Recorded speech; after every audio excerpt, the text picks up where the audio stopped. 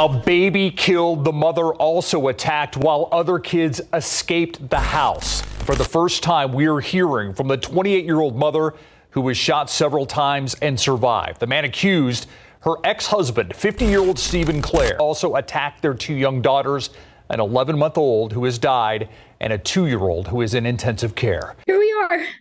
You know, I get to buy an urn and a walker in the same week. I have no home because I can't go back to the one I was in, and took out a pocket knife and stabbed my three three times in the stomach. He stands next to me and he puts gun in my face and he tells me to get in the car. He's like, You're not gonna make it this time. He lives two minutes down the road from my children's school.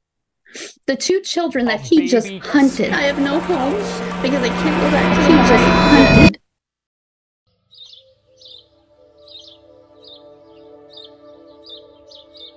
My name is Mariah Gardner. I have lived in San Antonio for eight years.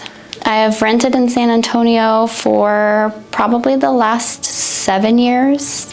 I wanted to become a homeowner because I left an abusive marriage and for me it was most important to provide my children a home where we could all feel safe and happy and I felt like we all deserved a new beginning and so that's what this home meant for us was a new beginning.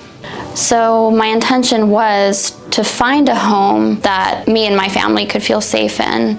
And through our home buying process, unfortunately, we also experienced a traumatic event that completely changed our lives.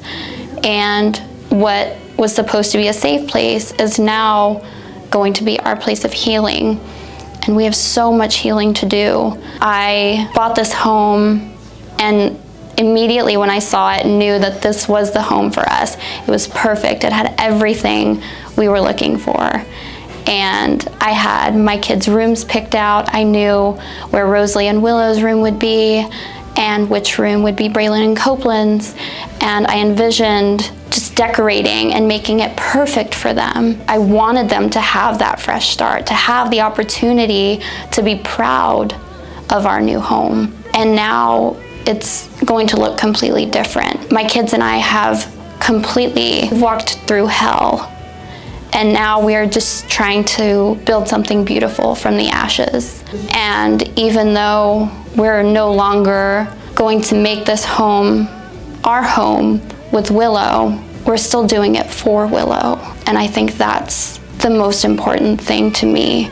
Every single time I walk through our front door, I'm going to think of her.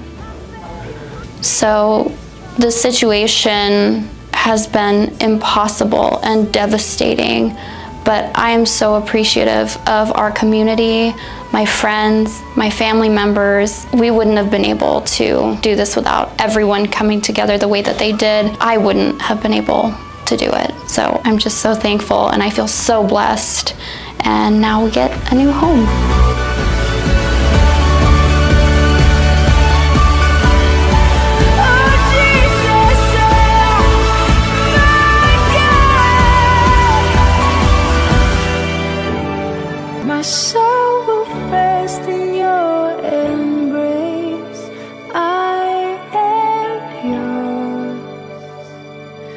You.